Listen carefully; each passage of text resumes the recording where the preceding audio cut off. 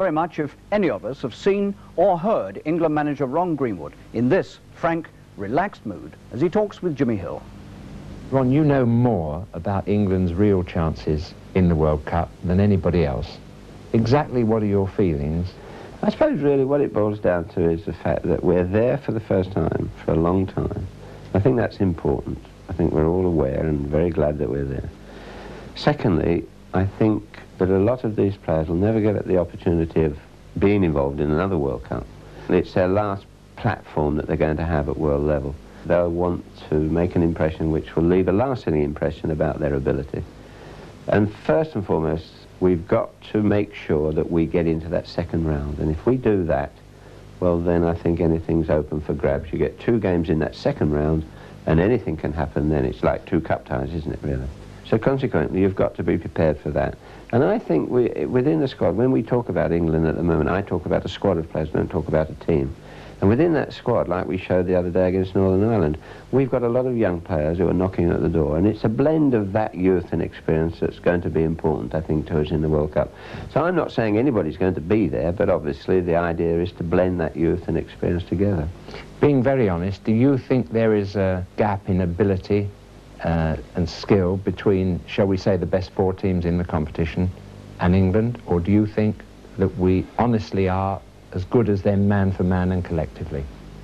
Well, that, that's a dangerous thing to say because we've, we, we've had competition. Well, we, we've had games against Argentina, we've had games against Brazil, and we've had games against West Germany during my period of time. Now, it can be said they were friendly games, right? But we beat Argentina. We, we were most unfortunate in Germany on their own ground, and of course the Brazilian game we were murdered for about half an hour and uh, had a very young side out, and we were uh, defeated 1-0, as you know. We did better than any of the France and Germany who played them on that tour.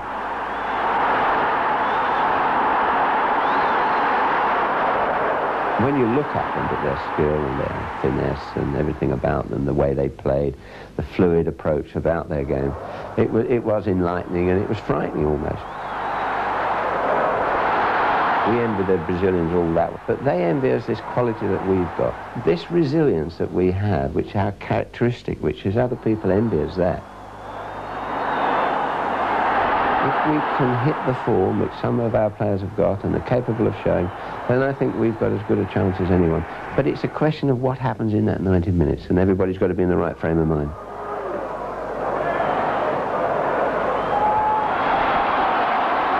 My whole philosophy's been based on a combination of what I think is the best of British and the best of the continent. I think it's ideal if you can marry those two qualities together.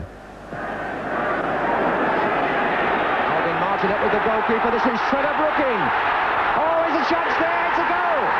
We've got to apply what we're doing week in and week out, and that is our strength and competitiveness, which everybody envies us. Paul Mariner, the start England wanted. Supposing England doesn't come off in the World Cup, and you know yourself because you've experienced a little bit of it. We it. just have a few more bad headlines. Well, you've had the bad headlines, Yeah, uh, sure. uh, dramatically bad, which stayed in your memory. You know that. Would that sour your life if they attacked you and savaged you again? No, I don't think so, because I know in my heart of hearts that I'd have done my best to what we could do, and I'm sure the players will have done their best. And if something happens uh, dramatically like that, and and uh, and it's uh, you have to be realistic, it could happen. It won't have been for the want of trying to. You know, it's not our divine right to win every game, but at the same time, that's what everybody wants to do, and we want to do that. But if the other team are better than you, you have to accept that. We've got to make sure they're not better than us on the day. There was a story that uh, in some kind of disillusionment that you did say to the players that you were going to uh, retire. I use that word rather than resign, and that they talked you out of it. Was that true? Well, it was it was uh, a bit emotional after we came back from Hungary, and, and I just felt that uh, it had been a bit critical, and we, we'd weathered the storm, and uh, I said to my chairman, Mr. Wragg, that I felt that we were going to qualify now for the World Cup. No, no way, no, no problems, you know. And that was uh, with the two games to come against Norway and Hungary. I said, "There's no problem. You're going to qualify for the World Cup. So why not? I'll move over. I'll, res- I'll retire." And I meant retire. I didn't resign. I've never resigned in my life. I don't give in. But I was retiring because uh, it was that that was the age that I felt was right. And uh, so I just told the players, and uh, and unfortunately, they're very annoyed that it's ever leaked out because very few people knew about it. And um, I don't know how it leaked out, but they were annoyed. Not I wasn't annoyed so much, but they were annoyed because they felt it was a private thing between them and I. And uh, there's a there's a kind of deep trust that we have, which we've built up, which I'm proud of, and, and I'm proud of them. And uh, they were very hurt when it came out that it had happened. But uh, yes, in a sense, it was true.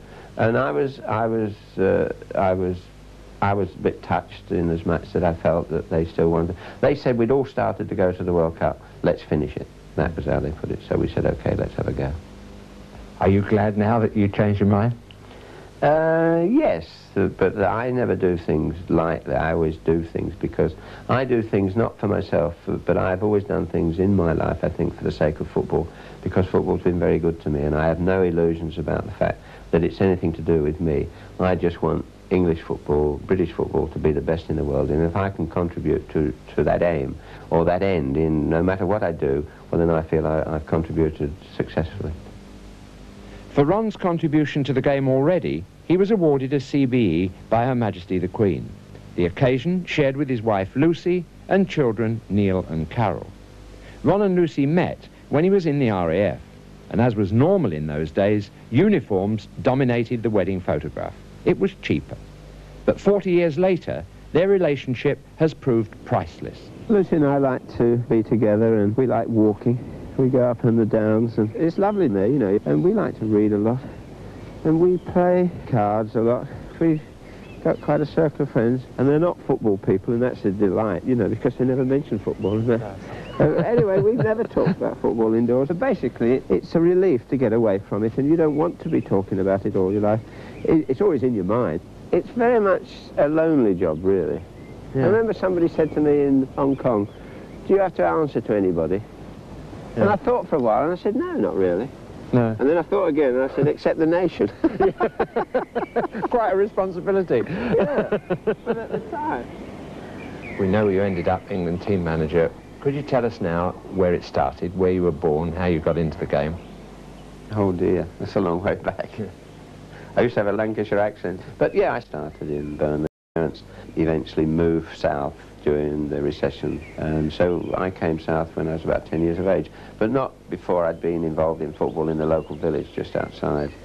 I was a mascot for the local mill team on the Burnley Turf Moor the village where we lived was above Burnley, and we used to walk down the village two and three quarter miles to see the game, you know, and uh, that's my early recollection of football. I Don't know they're born these days, do they? They were lovely days, I think, and I think, you know, I mean, I was very lucky, and it was a village, and I was always involved in just playing football daily almost. Wearing, I used to wear clogs, used to wear them out. I used to have a local uh, contract with a local clogger the, the, to put irons on the bottom because I was always wearing them out. You know, it was the bane of my mum's life. Then you came to London, Alperton, mm. and you had a sort of passport to Wembley Stadium because your dad had a job there, didn't he? I actually worked at Wembley Stadium before my father. It was during a period of time that my father uh, changed jobs that he eventually became and worked at Wembley. But I had already been working there for the firm of uh, sign writers. I was an apprentice, as you know, mm. uh, to sign and glass writing. Very important, glass writing. and, uh, and we to do all the exhibition work at uh, Olympia and Earls Court. And of course they had the contract to do all the work at Wembley Stadium. Well, I wasn't considered fast enough or good enough to do it for the big cup final. I used to get the Rugby League Cup final, and then I, I eventually graduated. I graduated to the to the cup final.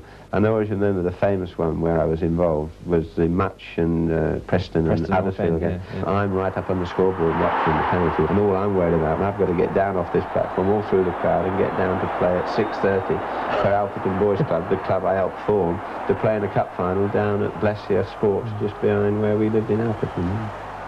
Ron's professional career started at Chelsea and via clubs like Belfast Celtic, Hull City, Bradford Park Avenue and Brentford, he returned to Chelsea to win a league championship medal with them. While at Brentford, when I first met Ron, we were chosen for a London FA team. He became Brentford's captain in days when coaching was a dirty word. It was said players either could play or they couldn't. But some of us felt there must be more to it than that. If you remember, our goalkeeper was Ted Gaskell who was then a staff coach at the Football Association. And the year before, Jackie Goodwin had been on a course with Ted at the Birmingham University.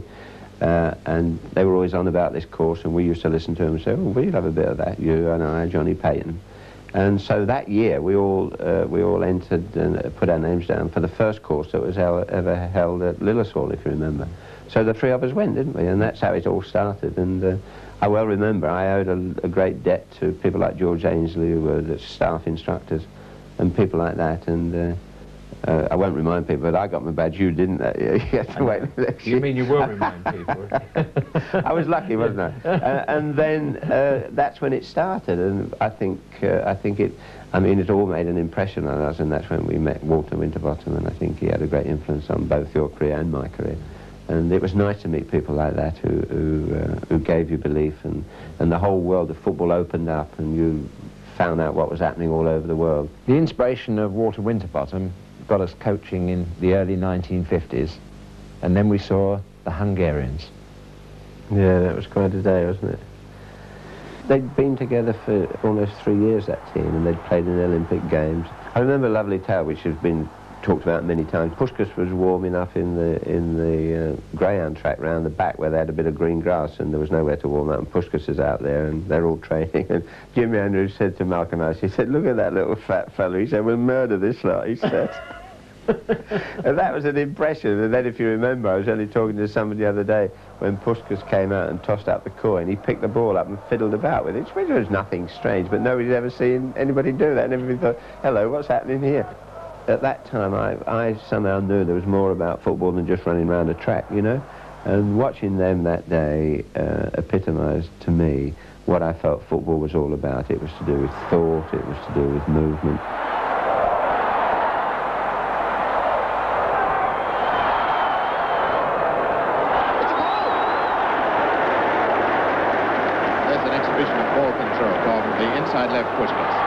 The movement and the passing was so precise and the shooting and everything, but I don't think people saw what was happening off the ball. They're only seeing people on the ball, and they could see big triangles. And then it, English football went through a stage of, you know, where the triangles were stationary, and the art of football is to move triangles about, you know, and keep them going, and that's, that's what they did that day. A great influence on me, and I remember I thought that's the way that's the way the game should be played. And to I've been a, an England manager now four years, and we've beaten them three times, you know.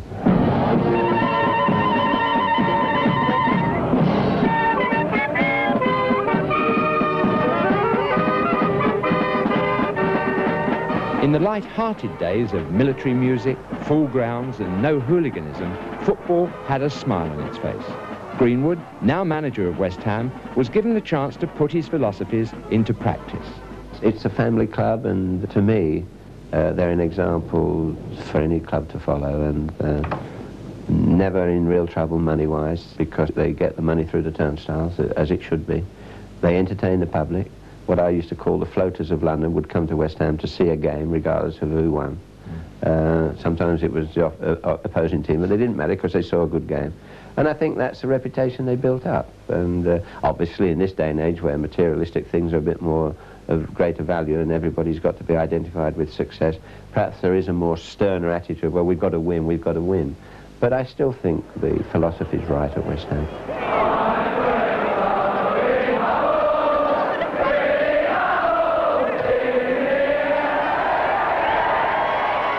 Football's becoming too mundane, where it, it's too predictable. Every, every match you watch is similar, you know. Get some new ideas going, get people thinking about it, and get rid of the fear in football, and at the same time, entertain the public, because I think that's what we're all concerned about. Get them back, get them excited about the game.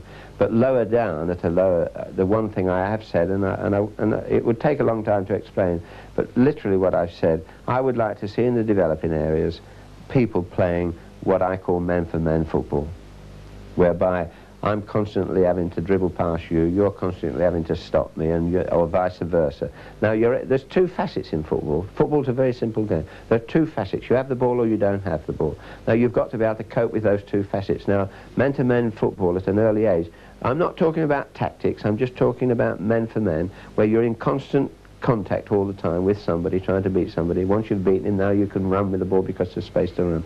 It, it's, it's helping, by, by, by example, it's, it's helping to develop the right habits. Now, later on when they grow up, well, then you can, you can talk about tactics and that. But you see what's happening at football clubs now and at schools. I mean, kids of eight and nine are being taught to, about tactics and whatever. Well, there's more tactics taught at that level than there is when we play an international game.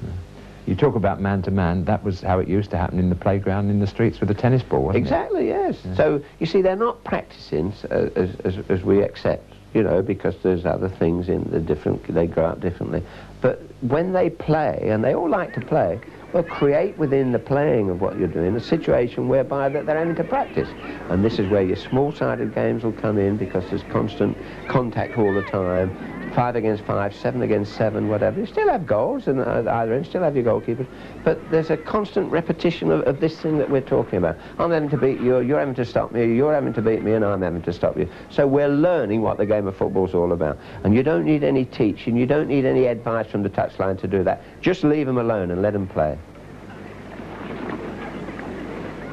I think winning football and entertaining football is about scoring goals. And uh, if you score more goals than the other team, well, one more goal, that's all you need to do. And I think that should be the object of the game. The, that's what the goals are there for. That's what they were made for. You know, you're supposed to put the ball in the net. I remember dear old Jackie Henderson, who played for us at, at Arsenal, he used to say, well, if you don't know what to do with it, put it in the onion bag out of the way.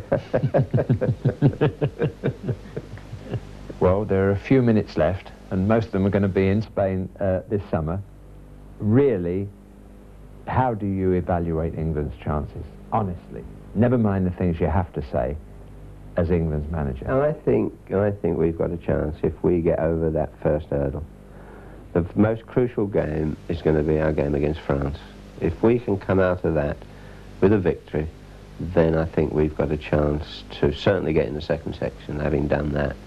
And then the second section is a knockout competition, really, in my eyes. I think that's when the World Cup really starts. 12 best teams in the world playing each other. There's no question of, uh, you've got to win that section to go into the semi-final.